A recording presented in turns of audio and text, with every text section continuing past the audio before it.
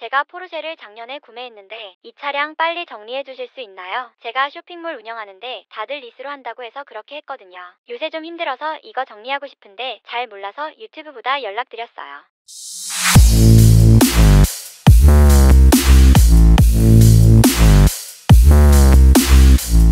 다른 거 생각할 필요 없어요. 무조건 그냥 이것만 따라하세요. 먼저 지금 하고 있는 차량의 리스사에 전화해서 상환 스케줄표 해지 정산서는 두 가지가 있어요. 오늘 날짜 기준으로 반납 정산서, 인수 정산서 그리고 주행거리, 차량 등록증, 어, 스포츠카 같은 것들은 차량을 출고할 때 출고 옵션이 있어요. 그것만 딱 준비하셔서 저희한테 연락 주시면 됩니다.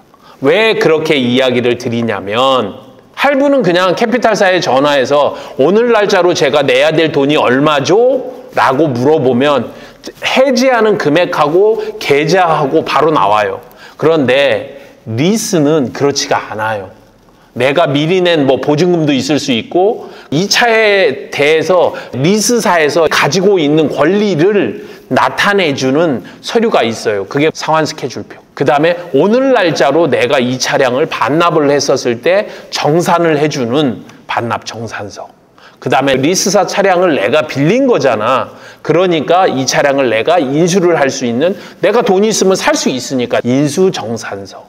그리고 이 차량을 중고차 업자에게 팔려면 주행거리, 따로 추가한 옵션 리스트, 딱 요게 필요합니다. 요것만 보내주시면 바로 5분 안에 바로 답을 드릴 수 있어요. 자, 반납했을 때는 얼마, 인수했다가 판매할 때는 얼마, 그리고 이거를 승계했을 때는 얼마. 중요한 건 이겁니다. 현재 기준으로 대표님께서 정리를 할 때 가장 손해를 덜 보는 거예요.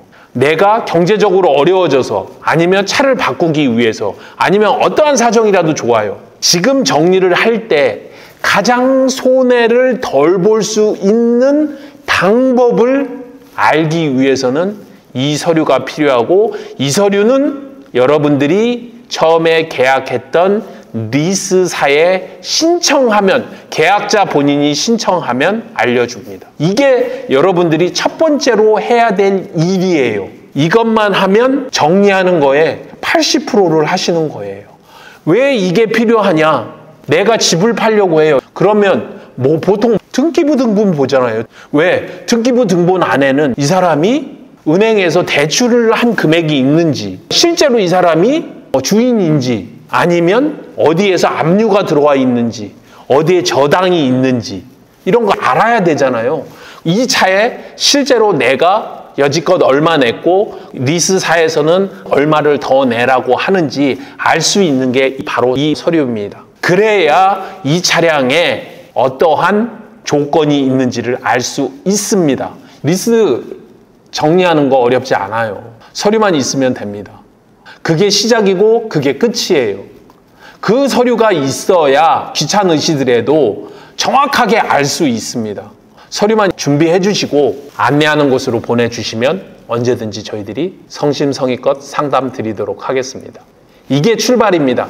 18년차 리스 렌트 고인물 정진환이었습니다. 항상 여러분들께 도움이 되도록 하겠습니다. 감사합니다.